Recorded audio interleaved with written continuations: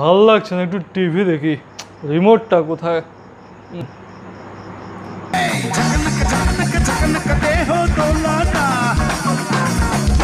এই যে টিভি অনই করতে পারলাম না, কুকুরের বাচ্চা নাচানাচি শুরু করে দিয়েছে। সুপ্রিয় দর্শক মন্ডলী, আশা করি আপনারা সকলে অনেক অসুস্থ আছেন এবং আমি অনেক অসুস্থ আছি। তো আপনারা দেখছেন যা ছাড়ে একটা টিভি কেন গাছের নিচে সংবাদটি সাথে আছি আমি M B B S B S C Mohammad Abdul Jabbar Islam Ali Khan Khan তো বঙ্গবন্ধু স্যাটেলাইটের পশ্চাৎ দেশ থেকে গোপন সূত্রের মাধ্যমে আমরা খবর পেয়েছি যে বাংলাদেশের তুমুল পরিবর্তনের সাথে সাথে পরিবর্তন হয়েছে আমাদের ইফতারের অতি উত্তম খাবার বেগুনি। ভাঙা পায়খানা টয়লেট থেকে জানা গেছে শুধুমাত্র বেগুন দিয়েই নয় আর অন্যান্য শাকসবজি দিয়ে বেগুনি বানানো সম্ভব। তো এই ব্যাপারটা নিয়ে আমাদের মাননীয় প্রধানমন্ত্রী কি বলছেন সেইটা একটু আমরা সচক্ষে দেখে আসি। তো বেগুন দিয়ে বেগুনি না খেয়ে আরও যে যে সহজলভ্য আছে সেটা দিয়ে খেলেই হয় আমরা তাই খাই। মিষ্টি কুমড়া দিয়েও খুব ভালো বেগুনি না বানায়, মিষ্টি কুমড়া দিয়েও বেগুনি বানানো যায়।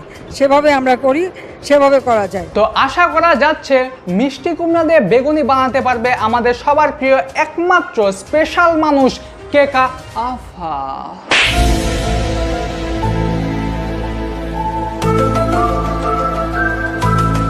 এই সংবাদটি প্রকাশ হওয়ার আগে আমাদের উত্তম মধ্যম কাঁচামালের অতি উত্তম বাজারের অবস্থা যেমন ছিল। এখন ভালো আছেন? হ্যাঁ ভালোই আছি। তো এই মিষ্টি কুমড়া তো ভালো এগুলো কি ভালো মিষ্টি কুমড়া? কুমড়া মিষ্টি কুমড়া সে কত টাকা কেজি? কীভাবে কি? কত টাকা কেজি এগুলা? বিশ টাকা কেজি।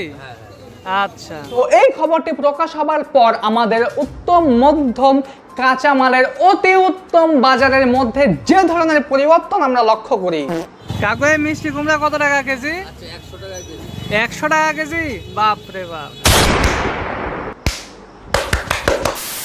মিষ্টি কুমার দাম যে হু হু করে বেড়ে গেল এই নিয়ে আমজনতার মতামতটা কি? আমি আশা করছি দাম বাড়ার ব্যাপারটা নিয়ে তারা খুবই দুঃখ প্রকাশ করবেন। মিষ্টি কুমড়ার যে দাম বেড়ে গেল এটা নিয়ে আপনার মতামত কি? আমার মতামত যে যুগ হিসাবে দিন হিসাবে দাম ঠিক কমই আছে একশো টাকা কেজি। আরও বেশি হওয়া দরকার ছিল। আচ্ছা ঠিক আছে অসংখ্য ধন্যবাদ। কবি খুশি কবি গম না জুদা তো বর্তমানে ঠিক টিকটক, ফিকটক।